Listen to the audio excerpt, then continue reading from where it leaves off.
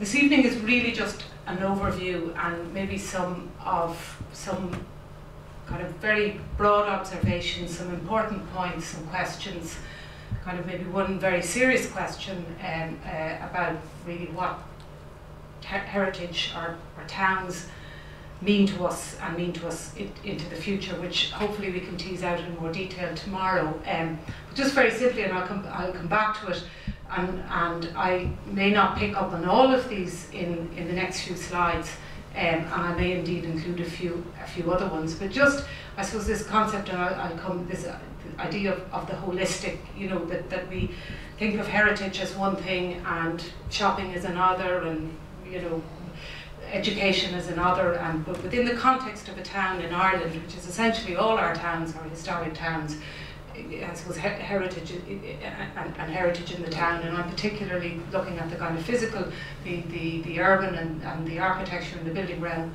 It's a, very much a holistic view, and, and uh, I'll, I'll come back to that. I suppose that, in really, in one sense, part of the, in terms of starting to use it intelligently, you really want to understand what it is that's distinctive and you need to celebrate and support that. But understanding that is, a, is not something that happens overnight. Pat, you told me when you grew up in Wexford that you, you know, when you learnt that there were walled towns, you didn't know was I inside or outside. And it's a funny thing because once you begin to be able to read something like that, your whole spatial experience changes. And uh, it's, it's, a, it's, a, it's a kind of a really wonderful thing. And I think it's part of what this culturally curious visitor taps into is because their ability to read places is getting more and more sophisticated. Having said that, I'm particularly interested in the idea of Carrick-on-Suir as a place where you live. It's your home, it's the most important place in the world.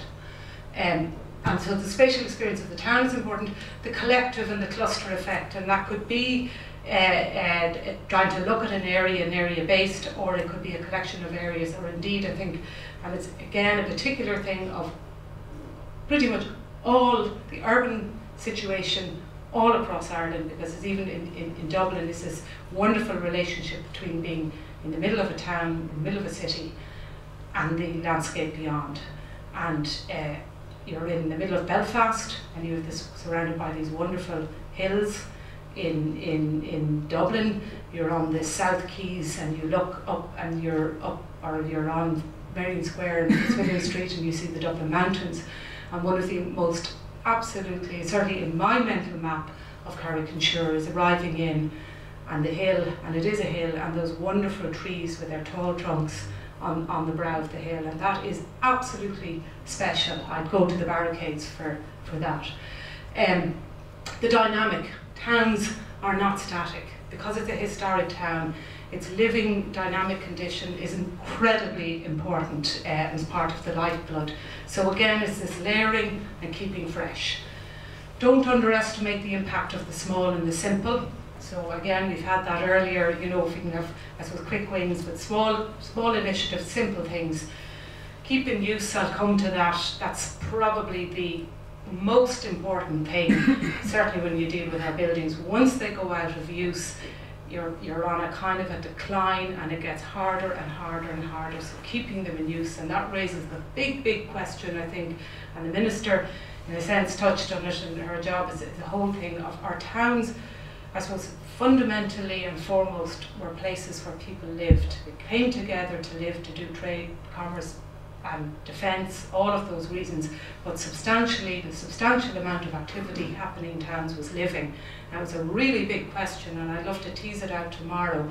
You know, uh, it struck me there's still a good sense of living in, in Carrick, in, in, in, and certainly up near the castle, there's a kind of a, a very nice, strong, settled residential cluster that kind of raises questions in terms of increased activity to the castle. So we have to have to recognise that.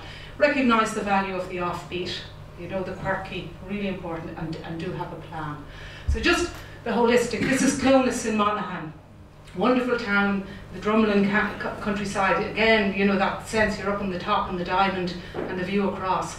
But that is, and the life that goes on in it, as well as the physicality, the graveyard, the, the, the, the, the roofs, in, the new, the mundane, the ordinary, and the special and the distinctive, the profile, the topography, the history, and the future. That's what is, is, is our, our urban heritage. And, you know, this is, this is a series of plans of a whole range of, uh, of towns, villages in Ireland, um, different scales, different sizes, all over the place.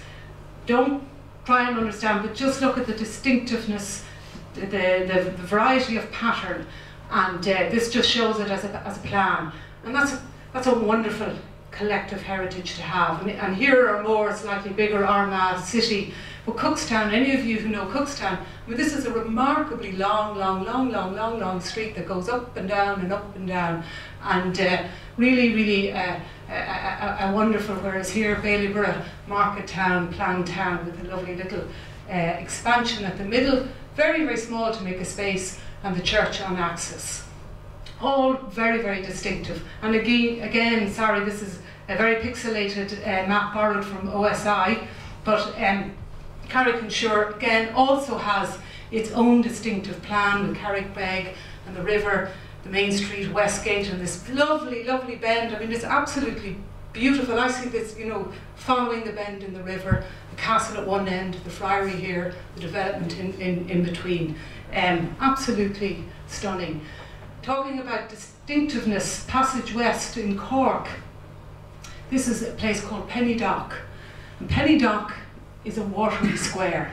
It's lovely. And it's a small town outside Cork, very long, long town, hugging to uh, a steeply rising uh, uh, hillside down to the sea.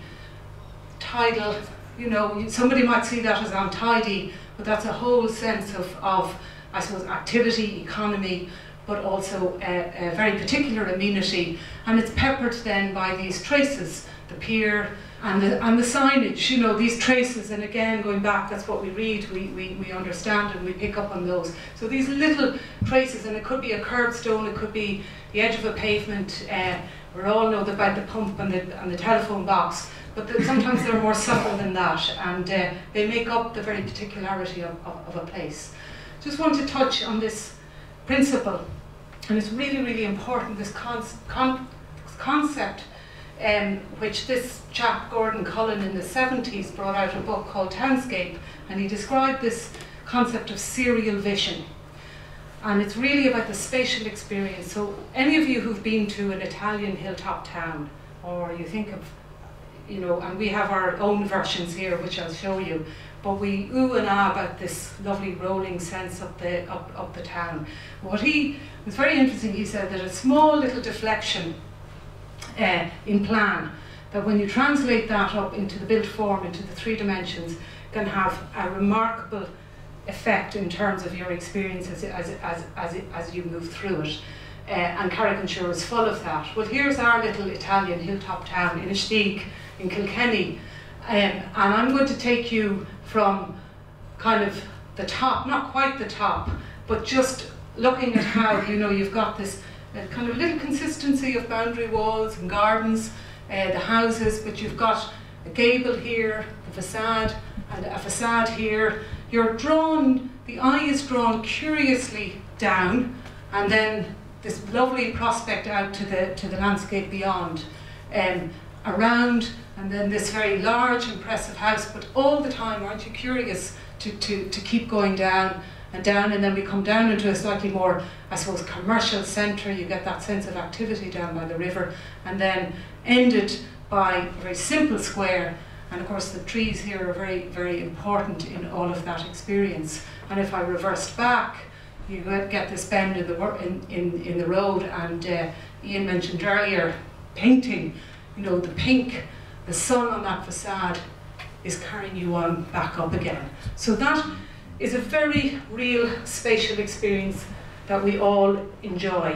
And uh, I could do, and would love to bring some of you along Carrick-on-Suir Main Street and back by the river, and we'd have the same uh, ex experience or across the edge. This is Chapelizod. And here, just really the point I'm making in terms of that sense of spatial enclosure, the mature trees here are incredibly important in that relationship. So again, the town, in terms of its heritage and its quality, is not just about the buildings in isolation. Has to, you have to see the whole, the whole picture together. And the lanes, again, and I suppose there's a sense of connection. They perform a very vital role in terms of shortcuts. We've tended to dismiss them and turn them into back ends and we put our bins there and they become unpleasant places to use or they become uh, full of litter and, and, and rubbish. but we really have to start to kind of see them as uh, really permeating the, the town, extending its surface area, um, and opportunities, as I say, for, for shortcuts and sometimes just mystery. I mean, this is wonderful. I think this is up in uh, Glenties and uh, the blue. Whoever chose that colour, but it's a real draw up, uh, draw for the eye.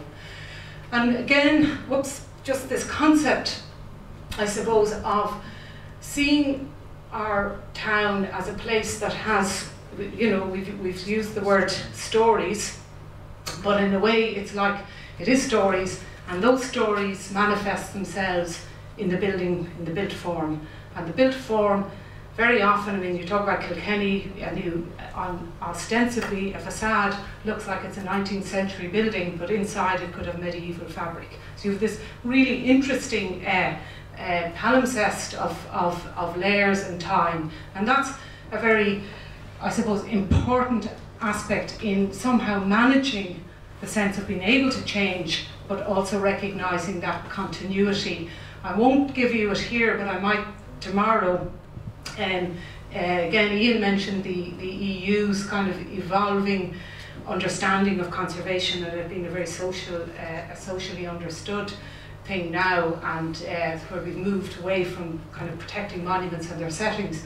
The UNESCO have brought out uh, recommendations on what they call historic urban landscapes, and they have this definition which is really full of all these ologies, but it's, it's, it's, it's wonderfully broad and encompassing, and it includes the tangible and the intangible and the spiritual, and, and, and it really includes one very interesting thing, which is, which is the meaning places have for people is part of the urban landscape.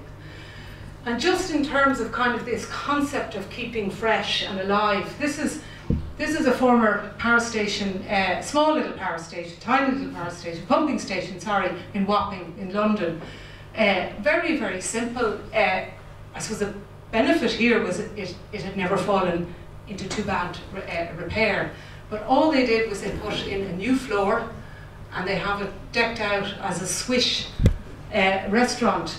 But in a sense that imaginative use of in some people's minds, ordinary buildings, but they're very extraordinary and unique inside. So sometimes it will be very, very simply executed, but a good idea.